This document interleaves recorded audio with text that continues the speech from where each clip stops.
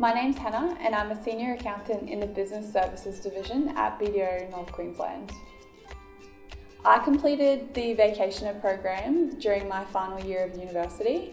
This is a four week paid program where you learn the different service lines offered at BDO. Business Services is just one of the service lines we offer at BDO North Queensland.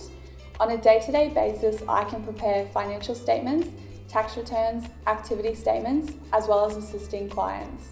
We often assist clients with their queries, whether they call us or ask us to come and visit their office. We receive multiple benefits at BDO, however, the most invaluable benefit I've received so far was my study support during the CA program. I really believed that the study support I received helped to ensure my success during the CA program. I believe the future of accounting will involve the evolution of our traditional role.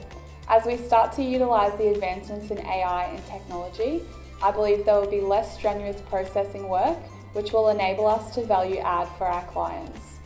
I participated in the secondment program where I travelled to Wellington, New Zealand to work in the Business Services Division for two months. This was a great experience as I was not only exposed to New Zealand tax law, but also was able to travel on the weekends and made lifelong friends in the process.